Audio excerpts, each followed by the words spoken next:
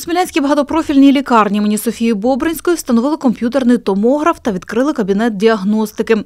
Ознайомитись із результатами поліпшень у медичному закладі приїжджав голова Черкаської ОДА Сергій Сергійчук. Повідомляють на сайті облдержадміністрації. Обладнання придбало підприємство ЛУР, залучивши кошти урядової програми підтримки малого та середнього бізнесу «Доступні кредити 579». Партнером став банк Альянс. Додатково в закладі створили 5 робочих місць, розповів виконуючий обов'язки головного лікаря Віктор Григор'єв. Кабінет комп'ютерної томографії оснащений найсучаснішим японським обладнанням. За своєю потужністю та діагностичними можливостями це на сьогодні єдиний апарат такого типу у всій області. Комп'ютерний томограф дозволить проводити різнокомплексні дослідження при онкопатологіях, патологіях головного мозку, лор органів, інсультах та інше.